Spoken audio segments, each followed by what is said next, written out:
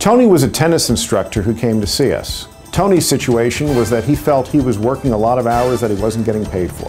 Hi, my name's Adam Gonnelli and I'm an employment attorney. Tony came in and it turns out Tony was only being paid for time that he spent on the court actually teaching clients. The problem was that Tony spent a lot of hours off the court, talking to clients, doing routine paperwork, even cleaning the courts.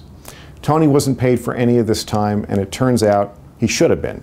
Now, when Tony went to his employer about this problem and pointed out that he was working all these hours that he wasn't getting paid for, Tony's employer told him, well, that's just part of the job.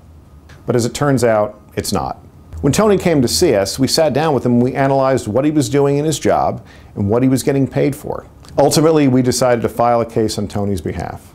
Now, if you think you're not getting paid for all the hours you worked, or you have a similar problem, just like Tony, what I want you to do is pick up the phone and give us a call.